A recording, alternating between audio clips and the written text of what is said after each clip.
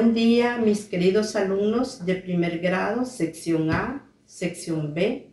Soy su maestra Tomasita, la que les imparte la clase de español.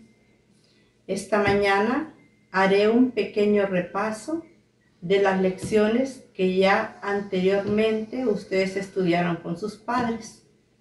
Lo haré de una forma breve para que ustedes lo puedan entender. Iniciaremos con el tema el verbo. Para ello les pido que tengan a mano su libro de primer grado, su lápiz, borrador y colores. Iniciaremos buscando la página 198, 199, que tenemos ahí el tema, el verbo. Nos dice que el verbo son palabras que indican acción. ¿Cuáles son esas palabras que indican acción? Cantar. Cuando nosotros estamos cantando, estamos haciendo una acción con la boca. Bailar. Cuando estamos bailando, estamos haciendo una acción con nuestro cuerpo. Cuando comemos, estamos haciendo una acción con nuestra boca. Cuando saltamos, estamos haciendo una acción con nuestro cuerpo. Correr, pintar, nadar, cortar. Todas esas palabras son de acción. Entonces, esas palabras les decimos que son verbos. Allá, por ejemplo, tenemos Emily canta la canción. ¿Cuál es la palabra ahí que nos indica la acción? Canta, canta, de cantar ese es el verbo. Ahí subrayaríamos que ese es el verbo cantar.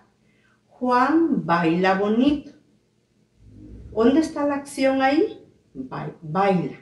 Entonces, Juan baila bonito. El verbo es baila. María corre por el campo. ¿Cuál es la acción ahí? Corre. Entonces, ese es el verbo. Porque dice el verbo son palabras que indican acción. Entonces, eso, eso es verbo. Todas las acciones que hacen las personas, los animales y las cosas se llaman verbo. El gallo canta. ¿Dónde está la acción? Canta. Entonces, ese es el verbo. El perro ladra. ¿Dónde está la acción ahí? Ladra. Entonces esa palabra ladra es el verbo.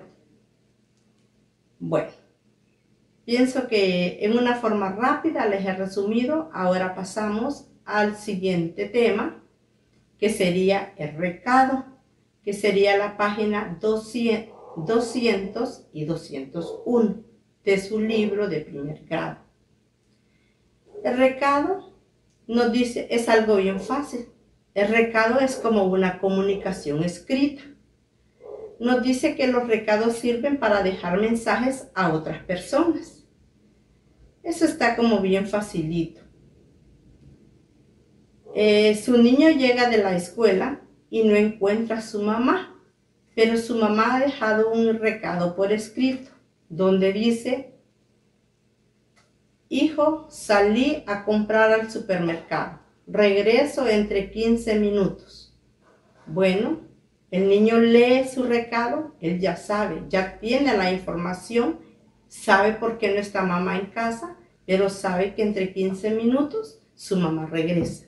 Ese es un recado, una información que cualquier persona la puede dejar y que es breve, no es, eh, no, no, es larga.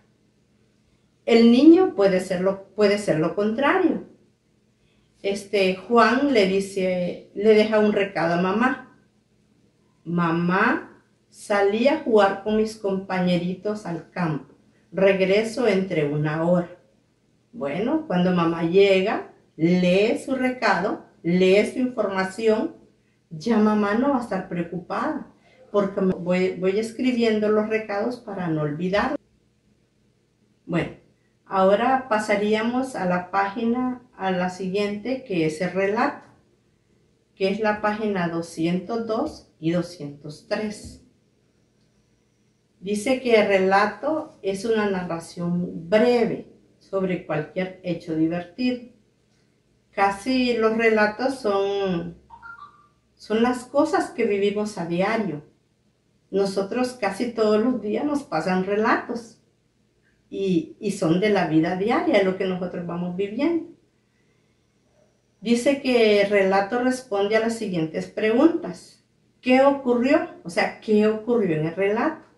¿A quién le ocurrió? Es la persona a quien le ocurrió. ¿Dónde ocurrió? Es el lugar. ¿A quién le ocurrió? Es la persona a quien le ocurrió.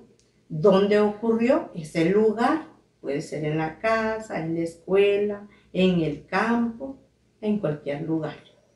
¿Dónde, eh, por qué ocurrió? Esa pregunta la hacemos si nosotros mismos la contestamos.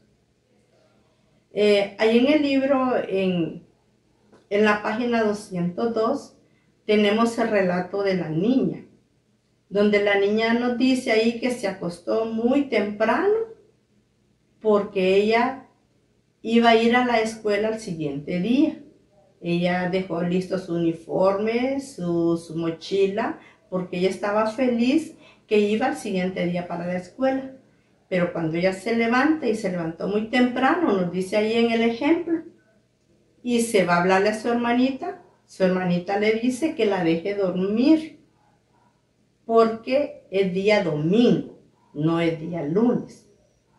Y, como ella ya anda hasta con uniforme, entonces las dos, ¿qué sucede? Se ponen a reírse. A reírse porque la niña se equivocó. Ese es un pequeño relato, ¿verdad? Que nos sucede a diario en cualquier, a cualquier persona, ¿verdad? Y pues este es un pequeño repaso de las tres lecciones para que usted pueda contestar un el, pequeña, las pequeñas preguntas que le salgan en, cualquier pregunta que se le coloque. De esta manera eh, he tratado de, de resumir los tres temas que creo que ustedes ya los trabajaron con sus papás. Agradecerles mucho por estar Agradecerles mucho a sus padres por estarlos apoyando a ustedes y a ustedes por ser obediente con sus padres. Les quiero mucho, los recuerdo y los extraño.